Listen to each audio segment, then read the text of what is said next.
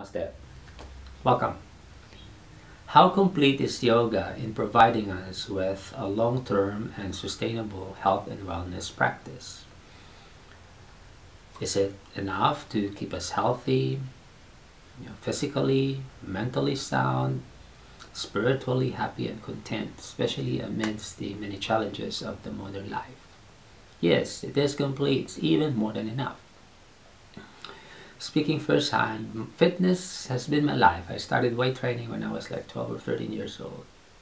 And all my working years is about teaching people find theirs. I've tried many disciplines, powerlifting, bodybuilding, um, high intensity cardiovascular programs, yeah, but there is no discipline that goes really deep and way beyond the internal health and the spiritual health than yoga. Yoga is just one of the many self-practice disciplines, but this is um, my practice. I'm sharing it with you. The type of strength that we gain from the practice of yoga, at least on the physical side, is something which is lighter, something which is more mobile and dynamic. But I truly believe that as a beginner, we need to build the awareness of the external muscularity of the body. And resistance training is a good way for us to develop that awareness. But as we age, as I mentioned, we do not want to wear out our joints, especially the spine and the hips. Yeah, because the spine, it loses its dynamism as we age.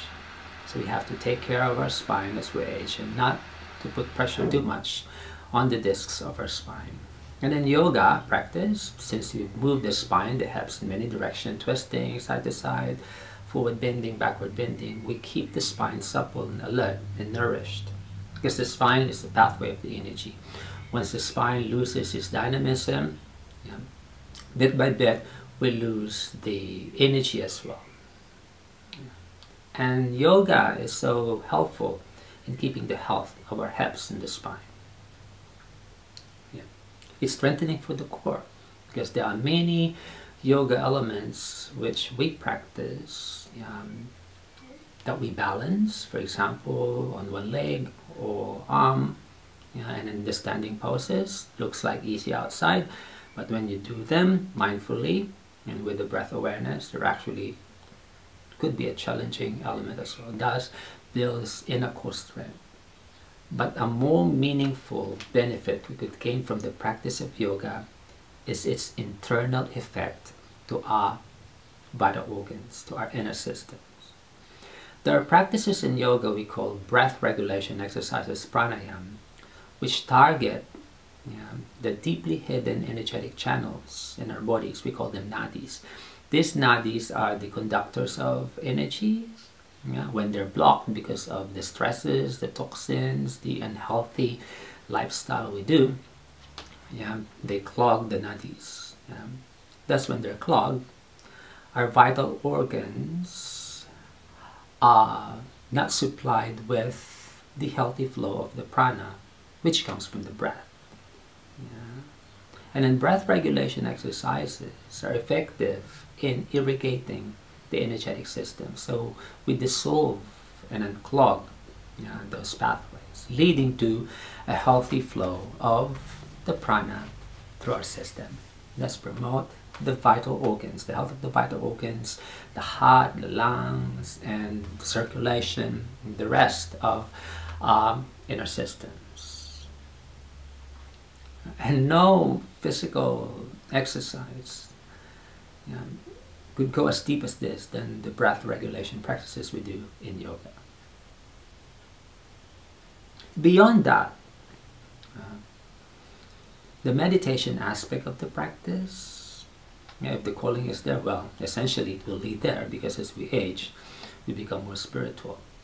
It's very enriching for the spirit.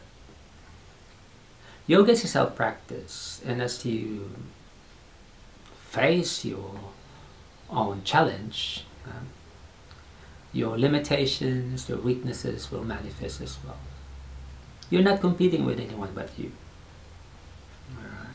And in the process of rising above these challenges, you will discover your own hidden potentials too. Something which you never thought were there.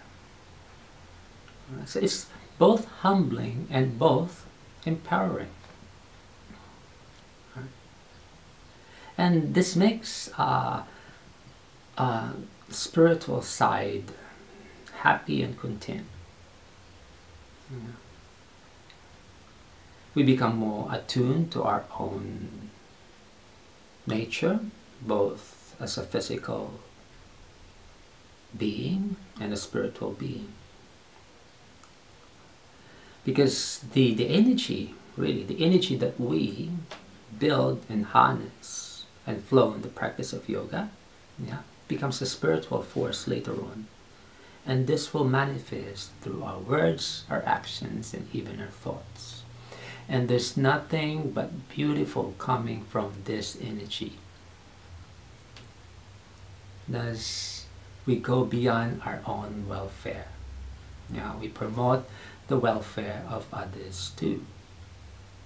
Because what is in you, this divine force, is present in all. Everything that breathes life. So yes, if you have the chance to learn and practice yoga, do it. Build it up. It could be the best decision you will ever make in your life. Till the next time. Namaste.